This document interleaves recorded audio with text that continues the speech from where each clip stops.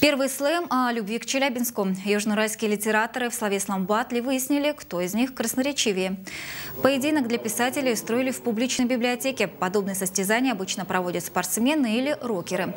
Так называемый слэм стал одним из мероприятий фестиваля «Весенний бит».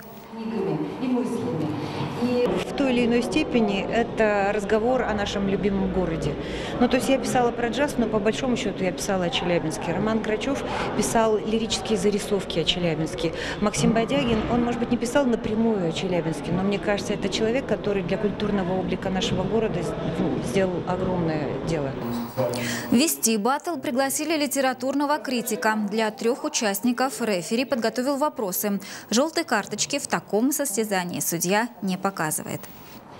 Вся моя функция э, э, рефери будет исключительно сводиться к тому, чтобы э, соблюдать регламент и лимит времени.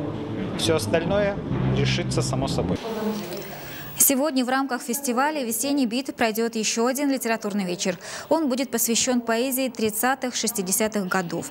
20 ноября в филармонии пройдет гала-концерт, на котором выступят музыканты из Москвы, Санкт-Петербурга, Челябинска и Аши. В данный момент я работаю над старым изданием